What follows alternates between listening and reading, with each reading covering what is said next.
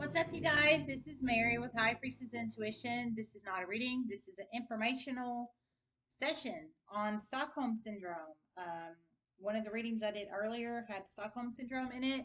So I was going to um, read up a little bit on Stockholm Syndrome for anybody that's not familiar with it. Um, if you're interested, just saying to stand. Sorry, got a little, hair is going a little crazy. Okay. So via dictionary.com, I Googled it via dictionary.com, Stockholm Syndrome. Feelings of trust or affection felt in many cases of kidnapping or hostage taking by a victim toward a captor. What is Stockholm Syndrome symptoms?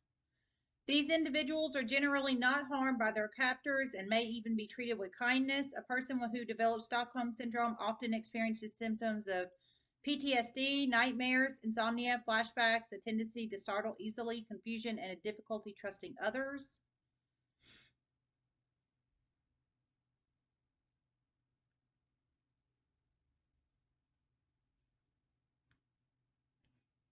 Can, emotion, can emotional abuse lead to Stockholm Syndrome?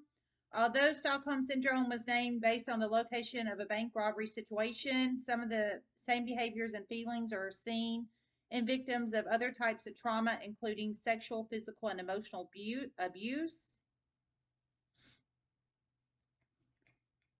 Trauma bonding is incorporated with Stockholm Syndrome as well. Stockholm Syndrome is often found in toxic relationships where a power differential exists, such as between a parent and child or spiritual leader and congregant. Some signs of Stockholm Syndrome include positive regard towards perpetrators of abuse or captors.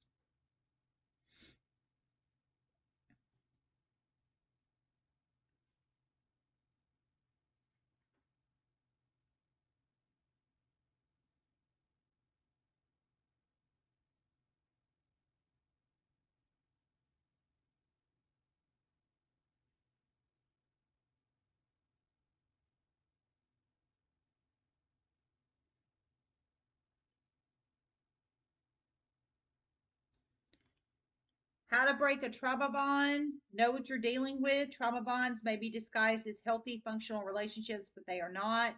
Make a safe exit plan. Avoid blaming yourself. Cut off contact completely. No contact rule. Um, get professional help if you feel you need to get it. Therapy and support groups if you feel you need it. Um, I hope that helps somebody. Um, I got some emails asking what um, Stockholm syndrome was and all that. So um, I feel I felt I should make a little video if anybody is interested. Love you guys so much and namaste.